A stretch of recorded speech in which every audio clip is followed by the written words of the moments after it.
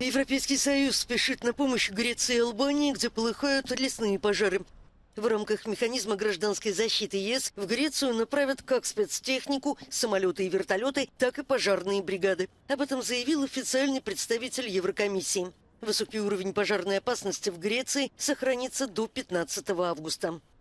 Specifically, as regards the region of um, Etica in uh, Greece, the Commission has deployed two firefighting planes from Italy, a helicopter from France, and another helicopter from uh, Serbia.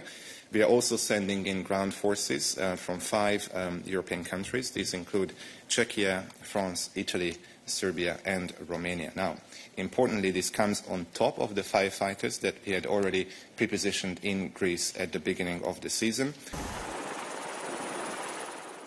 Албания, где к тушению пожаров привлечена армия, получит многоцелевой военный самолет из Румынии, который может перевозить до 6 тонн воды.